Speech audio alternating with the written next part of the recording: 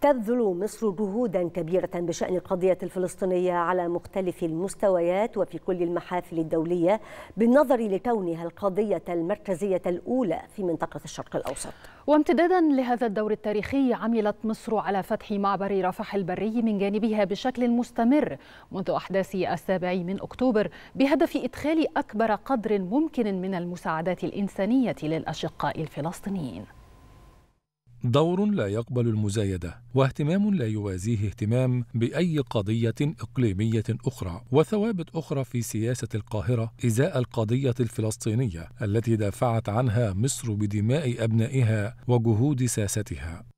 منذ بداية العدوان الإسرائيلي على قطاع غزة فطنت مصر للمخططات الإسرائيلية الهادفة لتغيير الواقع على الأرض بالمخالفة لما أقرته المرجعيات الدولية ذات الصلة. فأكدت مصر في عدة مناسبات أن الحل الوحيد للأوضاع الراهنة والتي تهدد بتوسع نطاق الصراع يتمثل في حل الدولتين وإقامة دولة فلسطينية مستقلة على حدود الرابع من يونيو عام 1967 وعاصمة عاصمتها القدس الشرقية. كما شددت مصر كذلك على أن أي محاولات أو مساعي لتهجير الفلسطينيين من أراضيهم ستبوء بالفشل. واستمرارا لموقف مصر الصادق تمسكت القاهرة بثوابتها الإنسانية والأخلاقية كجزء لا يتجزأ من هذا الموقف. ومنذ اللحظة الأولى فتحت معبر رفح من جانبها دون قيد أو شرط وقامت بحشد مساعدات إنسانية بأحجام كبيرة سواء من مصر أو من خلال جميع دول العالم التي قامت بإرسال مساعدات إلى مطار العريش. كما ضغطت بشدة على جميع الأطراف المعنية لإنفاذ دخول هذه المساعدات إلى القطاع. ومع استمرار قصف الجانب الفلسطيني من المعبر من قبل إسرائيل حال ذلك دون إدخال المساعدات.